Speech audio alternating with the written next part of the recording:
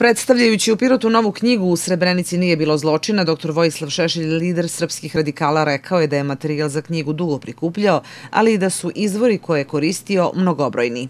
Cilj mi je bio da preispitam tezu da se u Srebrenici desio genocid, ustanovio sam da je ta teza potpuno promašena, da ne počiva na činjenicama i u potpunosti sam je demantovao.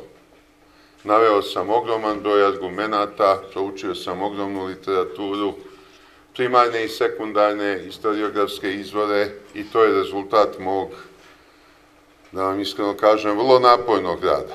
Ogroman broj autora i domaćih i stranih i istorijski dokumenti do kojih sam mogao da dođem, do kojih su došli drugi ljudi pa su ih već objavili i tako dalje. Srpska radikalna stranka priprema se za predstojeće izbore na svim nivoima.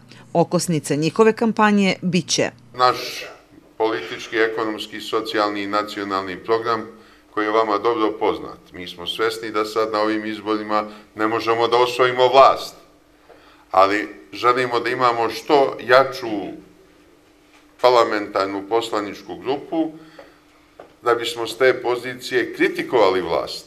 A vi znate da je radikalska kritika bila uvek najbolja, najpromišljenija, najkvalitetnija. Mi smo se bavili dakle, suštinom problema, a ne lepljenjem etiketa. Predsjednika Srpske radikalne stranke u Pirotu pozdravili su simpatizeri i članovi iz svih odbora stranke Pirotskog okruga.